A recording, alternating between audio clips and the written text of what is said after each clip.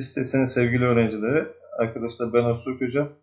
Bugün sizlere 11. sınıf tarih dersimizin ikinci ünitesini e, bir genel tekrarını yapacağız tabi sorularla. Şimdi e, sorularımızın çözümüne başlıyoruz arkadaşlar. Arkadaşlar ilk sorumuz reform hareketleriyle biliyorsunuz. Reform hareketlerinin e, ne olduğunu biliyorsunuz. Reform ilk olarak Almanya'da ortaya çıkmıştı biliyorsunuz. E, Almanya'da Martin Luther'in başlatmış olduğu bir hareketti. Dinle yenileşme hareketiydi. Arkadaşlar reform hareketleriyle birlikte demiş. Sorumuz şunu söylüyor.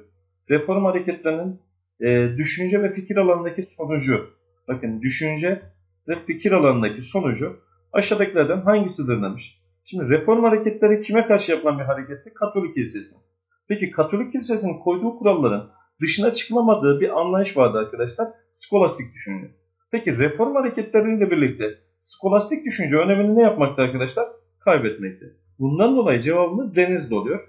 Reform hareketlerinin düşünce ve fikir alanındaki sonucu aşağıdakilerden hangisidir demiş. Feodal yönetim zayıfladı. Arkadaşlar bakın düşünce ve fikir alanında değil. Mezhep birliği parçalandı. Dinsel alanda bir parçalanma. Mezhep kavgalarının başlaması din savaşları. Bakın mezhep savaşları yine.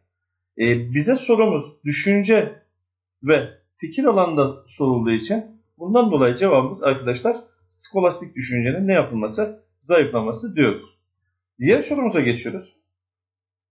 1718'de demiş Avusturya ve müttefiki Venedik ile imzalanan Pasirofça Anlaşması'nın ardından başlayıp bakın e, buradaki tarih çok önemli arkadaşlar. 1718 tarihinde başlıyor. 1718 tarihinde arkadaşlar Pasirofça Anlaşması'yla başlayıp patronu Halil isyanına kadar devam eden olay Osmanlı Devleti'ndeki devir Lale devridir arkadaşlar. Bundan dolayı cevabımız Adana. Arkadaşlar diğer sorumuz e, İncil'in Latinceden Avrupa dillerine çevrilmesiyle kiliseye ve din adamlarına olan güvenin sarsılması demiş. Deney ve gözleme dayalı pozitif bilimlerin ilerlemesi demiş. Verilen durumlar aşağıdaki gelişmelerin hangisinin neticesinde ortaya çıkmıştır? Şimdi bakıyoruz. İncil'in Latinceden Avrupa dillerine çevrilmesi, kiliseye ve din adamlarına olan güvenin sarsılması, deney ve gözleme dayalı pozitif bilimlerin ilerlemesi. Arkadaşlar Rönesans neydi biliyorsunuz? Rönesans İtalya'da doğup bilim, sanat, edebiyat alanındaki gelişmelere tamamla biz ne diyorduk arkadaşlar? Rönesans diyorduk. Yeniden doğuş anlamındaydı. Peki Rönesans'la birlikte arkadaşlar hümanizm dediğimiz insan aklına değer veren bir e, düşünce akımı ortaya çıktı. Deney ve gözleme dayalı pozitif bilimler ne olmaya başladı? İlerlemeye başladı. Bundan dolayı cevabımız arkadaşlar Rönesans'tır. Diğer bir sorumuz arkadaşlar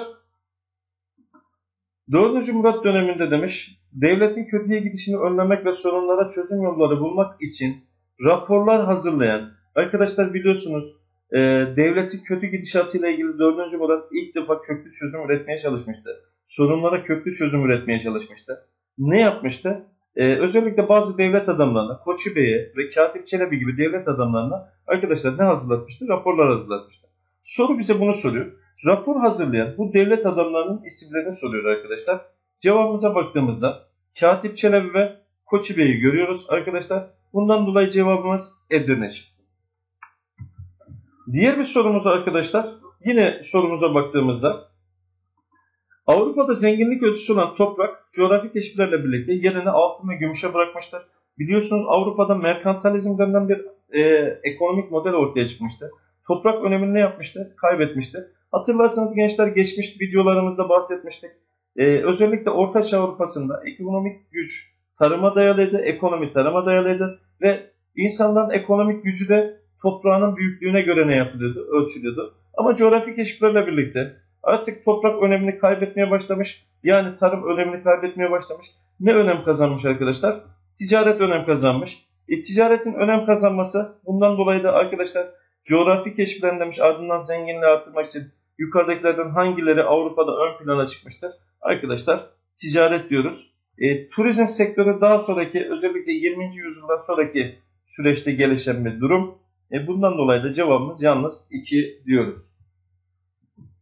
Arkadaşlar diğer sorumuz Osmanlı Devleti demiş. E, bakın yine bir bilgi sorusu. Osmanlı Devleti Kırım'ın Rusya'ya ait olduğunu aşağıdaki anlaşmanın hangisiyle kabul etmiştir? Osmanlı Devleti'nin Kırım'ın Rusya'ya ait olduğunu kabul ettiği anlaşma arkadaşlar yaş anlaşmasıdır. Hatırlayalım. Yine geçmiş derslerimizden hatırlıyoruz. Osmanlı Devleti ilk defa Küçük Kaynarca Anlaşması'yla Kırım'ın bağımsızlığını kabul etmiştir. İlk defa halkı Müslüman olan bir toprak parçası elimizden çıkmıştır. Daha sonra Aynalı Kavak Tenkihnamesi'yle Kırım'ın başına Rus yanlısı Şahingiray'ın getirmesini kabul etmişti Osmanlı. En son Yaş Anlaşması'yla da Osmanlı Devleti Kırım'ın Rusya'ya ait olduğunu ne yaptı arkadaşlar? Kabul etti diyoruz. Bundan dolayı da cevabımız arkadaşlar Bursa. Yine bir sorumuz arkadaşlar Lale devrinde biliyorsunuz Avrupa'ya gönderdiğimiz bir elçimiz var. 28 Mehmet Çelebi. Şimdi e, genelde bunu öğrencilerime sorduğumda 28 Mehmet Çelebi niye 28 Mehmet Çelebi demişler diyorum bu kişiye. E, öğrencilerin cevabı hocam diyor 28. Mehmet olduğu için. Bazıları böyle diyor. E, 28 defa Paris'e gittiğini söyleyen öğrencilerim var. Arkadaşlar 28 Mehmet Çelebi'ye 28 Mehmet Çelebi denmesinin sebebi eskide Yeniçeri Ocağı'nda biliyorsunuz bölükler vardır. Bugün bizim ordumuzda bölükler vardır. İşte birinci bölük, ikinci bölük diye. Ee, Osmanlı Devleti'ndeki Yeniçeri Ocağı'nda arkadaşlar e, bölüklere orta deniliyordu. E, Mehmet Çelebi ise bu Yeniçeri ortalarından yani Yeniçeri bölüklerinden 28. bölükte yetiştiği için kendisine arkadaşlar Osmanlı tarihinde 28 Mehmet Çelebi ismini yapılmış verilmiştir diyoruz. Ve 28 Mehmet Çelebi biliyorsunuz Lade Devri'nde Paris'e gönderdiğimiz geçici elçilerimizden bir tanesidir. Ve e, Mehmet Çelebi Avrupa Paris'e gittikten sonra gezdiği gördüğü yerleri arkadaşlar anlatan bir eseri var onun. E, neydi eserin ismi? Seferat Name diyoruz. Arkadaşlar Seferat Name adlı bir eserimiz var. 28 Mehmet Çelebi'ye ait. Arkadaşlar burada yine e, özellikle 18. yüzyıla damgasını vuran e, düşünürlerimizden bir tanesi toplum sözleşmesi ile ilgili bir sorumuz var. Şimdi soruya baktığımızda e, herhalde bunu daha öncelerde de duymuştursunuz. Kitap okuyan arkadaşlarım bunu çok iyi bilirler. Toplum sözleşmesi dendiği zaman aklımıza ilk gelen isim arkadaşlar Jean-Jacques Rousseau'dur. Bakın Jean-Jacques Rousseau. Bunu zaten daha önceki videolarımızda ne yapmıştık? Ee, söylemiştik. Toplum Sözleşmesi adlı eser Jean-Jacques Rousseau'ya ait bir eserdir. Arkadaşlar yine baktığımızda aşağıdakilerden hangisi demiş? 17. yüzyılda. Bakın 17. yüzyılda. Deniz aşırı sömürge elde eden, e, deniz aşırı sömürge elde edemeyen Avrupa devletlerinden biridir demiş. Şimdi baktığımızda e, sömürge, sömürgeci olmayacak, deniz sömürgeciliği yapmamış bir devlet olacak. Arkadaşlar coğrafi keşiflerle biliyorsunuz İspanyollar ve Portekizler özellikle denizcilik faaliyetlerinde ne yapmışlardı? İlerlemişlerdi. Daha sonraki yüzyıllarda İspanyol ve Portekizlerin yerlerine arkadaşlar Fransa ve İngiltere sömürgecilik faaliyetlerine başlamıştı. Ama özellikle baktığımızda Avusturya'nın e, özellikle bir deniz sömürgeciliği bir faaliyeti, deniz sömürgeciliği ile ilgili bir faaliyetin olmadığını ne yapıyoruz arkadaşlar? Görüyoruz. Bundan dolayı da cevabımız Bursa'dır. Yine bir sorumuz arkadaşlar coğrafi keşiflerle ilgili bir soru. Aşağıdakilerden hangisi demiş coğrafi keşiflerin sonuçlarından biri değildir. Coğrafi keşiflerin sonuçlarından birisi değildir. Baktığımızda İpek ve baharat ticaret yolları önemini yitirmiştir. Doğrudur. Avrupa'ya bol miktarda altın ve gümüş getirilmiştir. Evet doğrudur. Zaten merkantilizmin ortaya çıkmasında en büyük etkenlerden bir tanesi budur. Hristiyanlık yeni alanlarda yayılma imkanı bulmuştur. Kesinlikle doğrudur. Çünkü zaten hatta coğrafi keşiflere Papa bile ne veriyordu arkadaşlar? Papa bile destek veriyordu. Hristiyanlığı geniş alanlara ne yapmak için? Yaymak için. Yeni keşfedilen bölgelerde Amerikan kültürü yayıldı. Arkadaşlar bu kalsın. Özellikle Amerikan kültürü zaten Amerika kıtası sömürülen bir yer.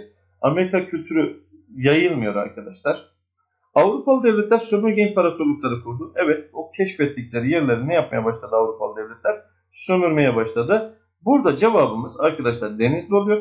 Sömürülen yer Amerika olduğu için Amerika'nın kültürü hiçbir yere yayılmadı. Zaten e, özellikle İngilizlerin, Fransızların, İspanyolların, Portekizlerin hepsinin e, kültürü Amerika'ya taşın.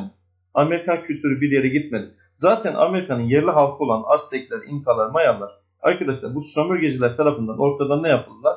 Kaldırıldılar. Bundan dolayı da kültürleri falan bir yere ne yapılmadı bunlara? Yayılmadı diyoruz. Arkadaşlar e, bizi dinlediğiniz için teşekkür ediyoruz. Gelecek derslerimizde görüşmek üzere. Yine e, tekrarlarımızda karşı karşıya olacağımızı unutmuyoruz arkadaşlar.